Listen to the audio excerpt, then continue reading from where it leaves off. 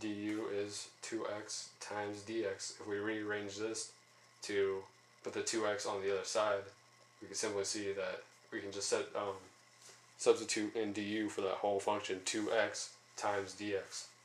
And we have our u, so let's just get right into it.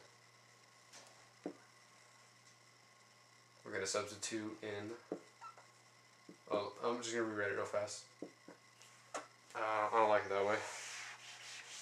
Let's just have the square root of 1 plus x squared times 2x dx. That way, you out there can see how this is e they're equal. So du is also equal to this. So we move right into the square root of 1 plus x squared times du.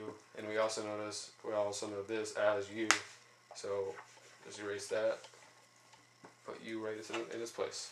And now we simply again have the same exact problem last time without the constant multiple. Just noticing your, you want to, you want to choose stuff, you want to look ahead, choose stuff that will enable you to have functions where you can have your du easily recognized and be able to plug it in for your dx. Like we got lucky here with the 1 plus x squared derivative being equal to this whole other, other mess we have going on in this problem. So we end up with just the square root of u du and simply solve that again I guess if you want. It's just u to the 1 half du and now you just power rule again. 2 thirds u to the 3 halves plus your constant like always and now substitute in your u. 2 thirds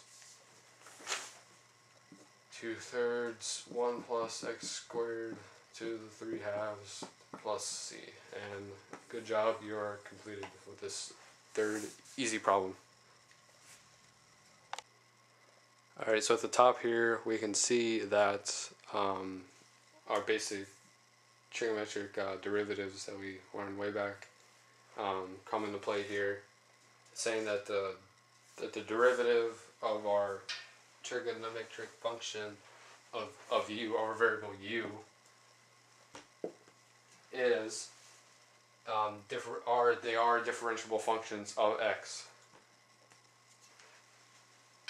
And with this, we can um, we attained our our statement that the derivative um, in respect to x of sine of u is the cosine of u. We all know that sine of the sine of x derivative that's cosine. And so we get the derivative of the derivative with respect to x of sine of u is cosine u du dx. So what this means is it's just uh, setting up how we get to the fact that our integral of cosine u du is equal to sine of u plus c. Um, this is this is pretty obvious for everyone. We've been doing this, um, but you know it's just good to point this out. Um, if you need it more in depth, just leave some leave some comments or something. Uh, so I'm just going to go over a couple of quick examples of using our trigonometric functions in substitution, which it helps a lot. I mean, we wouldn't have been able to do this um, last week on our test or anything like that because we just didn't know it. But now that you guys see this, it's going to be just quite amazing. So, the first um, example we do just right out of the book. It's uh, integral of cosine of 7x plus 5 dx. And with this function, we're going to simply do what we've been doing with our substitution. And we're going to take the 7x plus 5 and make that u. And now, you guys probably already figured this out, that du is 7 dx. So, and then now we need to solve for dx. So, divide by 7. We get dx is equal to 1 seventh du. And hey look, now we have something to plug in for dx. So we just drop this down and we're just going to go straight ahead and substitute. So we get cosine of u and change this to 1 seventh du and simply bring the 1 7th out front as we did before with the constant multiple rule.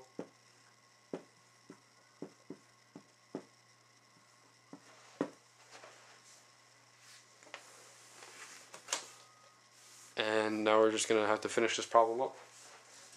Um, we just stated up here that cosine of u du integral at the very top, we stated at the beginning of this part uh, of this example that sine of u, or the cosine of u du integral of that is uh, sine of u plus.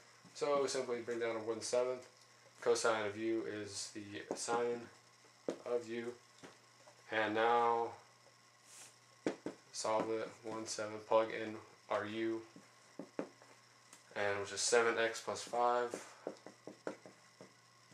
And don't forget the plus c. And you don't want to write it like this on the right.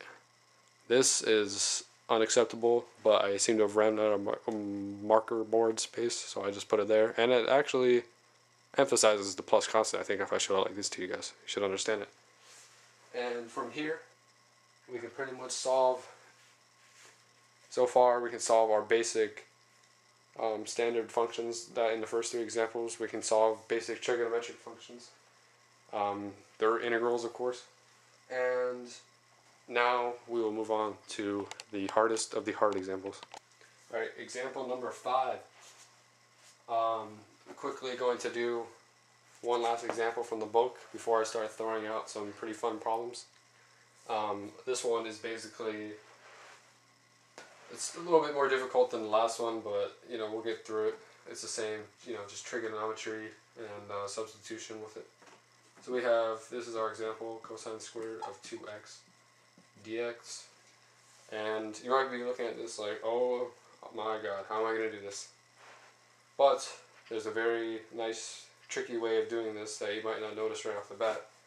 If we notice that, um, this is just a side note, 1, of cos 1 over cosine of 2x is equal to the secant of 2x, we can do some serious damage to this uh, very unpleasing problem. So, we can, I guess also slide this over and write it over here. This is equal to integral of secant squared of 2x dx. See if you guys can see it. Okay, good. Um, and then from there, we, we have it much more simple now. And we simply did what we did last problem. And bring it over here. That's u will be 2x and du is 2 dx. And again, solve for dx. dx is 1 half du, and then rewrite the problem. Secant squared of u times 1 half du. That's simply plugging in u and what we know as dx to be, which is 1 half du. And look, we have our constant multiple rule buddy back. So let's move it back out to the front and do secant squared of u du. And now, simply we can we know what the antiderivative of secant squared is, or at least you better know, because what's the derivative of tangent? You know, secant squared. So woo, there we go. Secant squared is tangent. All right, so let's uh, just plug plug plug and chug here. This is uh, the tangent of u. And we're going to plus our c. And uh, times 1 half, of course, keep our constant multiple there. And plug in what we know. So 1 half tangent. Oh, well, look at that. We have u. Let's plug in 2x there.